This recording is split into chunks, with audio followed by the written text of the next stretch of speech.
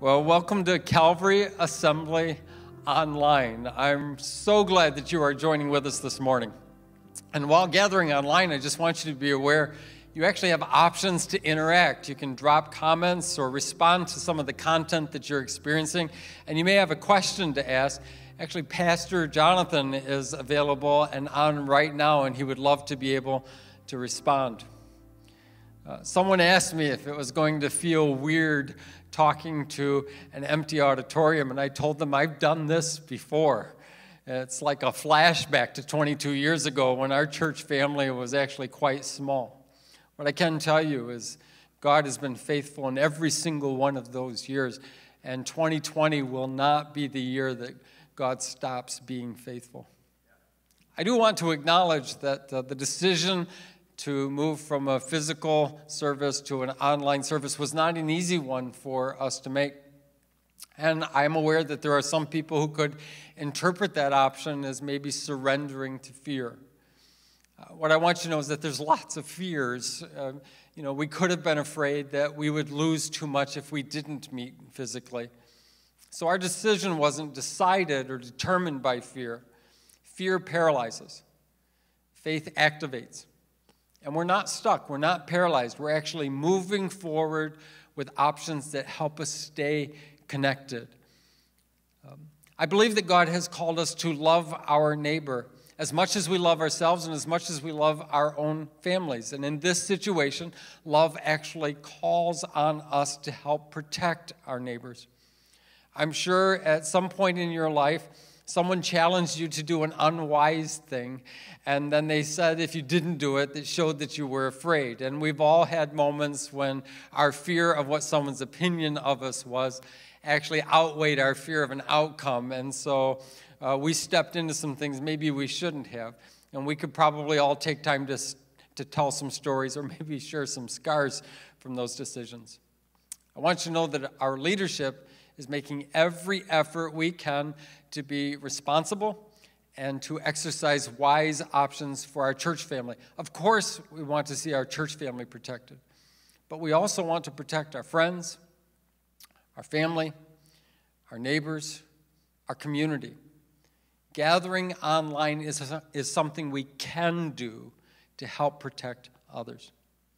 And just so you know, we're going to continually assess our options, and if we adjust our decisions, uh, we'll keep you fully informed about that. When we finally physically gather again, you can trust that we've thought it through carefully and prayed it through diligently. I do think that in our time together today, it would be really helpful for us to go to a resource of strength and encouragement that generations of people have used, and that's God's Word. And so we are going to be in Acts the 11th chapter, and we're beginning in verse 19. And it said, Now those who had been scattered by the persecution that broke out when Stephen was killed traveled as far as Phoenicia, Cyprus, and Antioch, spreading the word only among the Jews. Some of them, however, men from Cyprus and Cyrene, went to Antioch and began to speak to Greeks, also telling them the good news about the Lord Jesus. The Lord's hand was with them, and a great number of people believed and turned to the Lord. Stephen was a, a young follower of Jesus, full of faith, and he was a follower of Jesus at a time when hostility towards those followers was growing daily to the point that it actually led to murder. Stephen was the very first martyr of the Christian faith. And when he was killed, it did two things. It actually emboldened those who were persecuting the church, but it also caused the church to rethink its strategy for meeting and for reaching a lost world. Gospel means good news. That's right. Those who were being persecuted actually talked about good news, not just the latest news. Their faith was overriding their fear. It didn't make them stubborn. Rather, it made them bold and creative. It's important to mention that they didn't allow their fear to morph into anger. What we know is that fear cannot be defeated by our anger. Now, these believers, they didn't have an option any longer of meeting in large numbers. as they once had done. So they began to move to other cities, places where they could raise their families.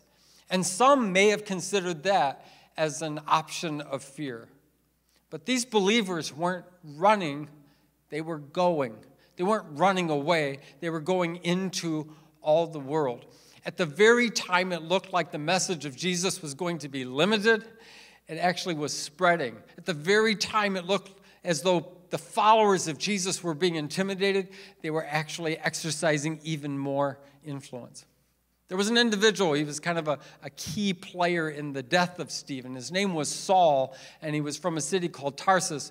And, and he was responsible, or at least partially responsible, for Stephen's death. When he saw the faith of Stephen, it started him on a spiritual journey that would completely transform his life. So much so that he even changed his name to Paul.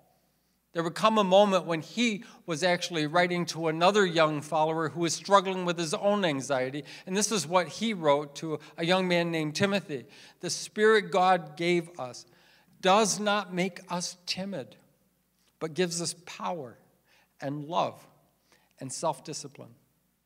Those followers of Jesus were not driven by fear. So, how can we tell that? Well, first of all, they told their own story wherever they went when you're afraid, you don't tell things about yourself. And they were actually aware of other people's suffering. When you're afraid, you tend to only focus on self. And they were sensitive to God's direction. They could still hear his promptings and see the doors he was opening for them. And they were willing to serve the needs of others. And I think we all desire to be people like this. Fear paralyzes, but faith activates us. Now, we could rehearse our fears and we could magnify our doubts.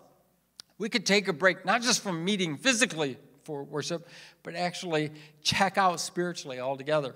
Or we could engage in worship in the option that's provided and look for ways for God to use it.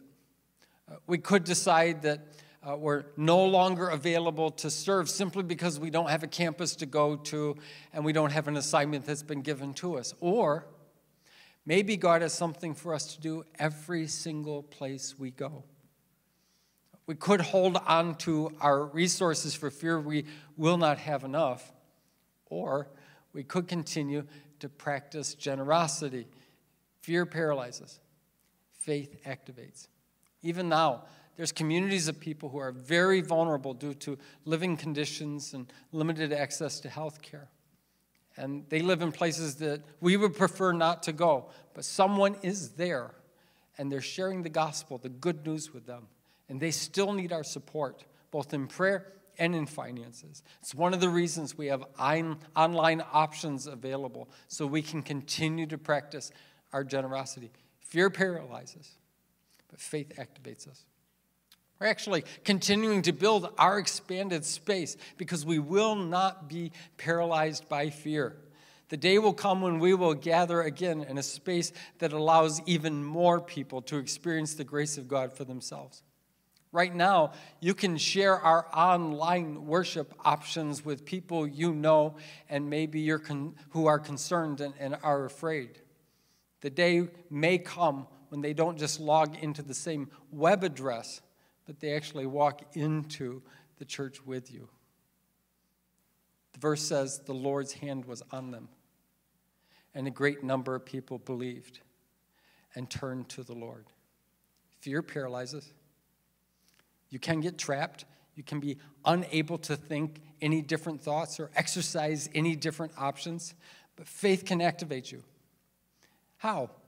Well, you can convert your worries into prayer you can actually start a conversation with God about what is keeping you awake at night.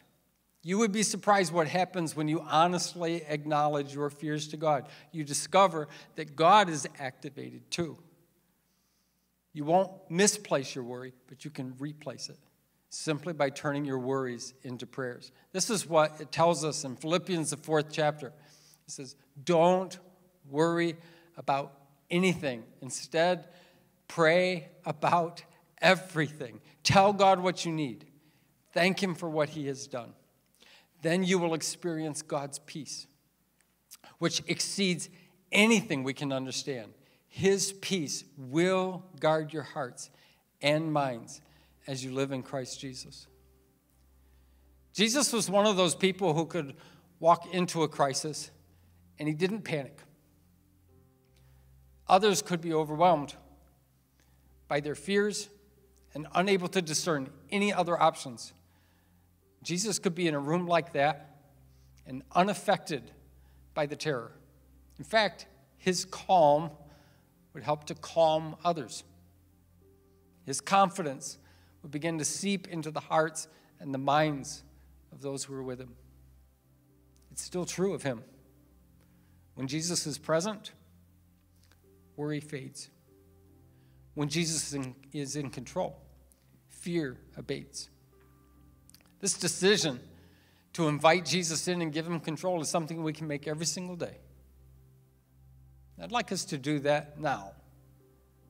I'm going to give some prayer focus points. And I'd like you to think about this and, and take some time praying about this. I'm, I'm putting them on the screen for you.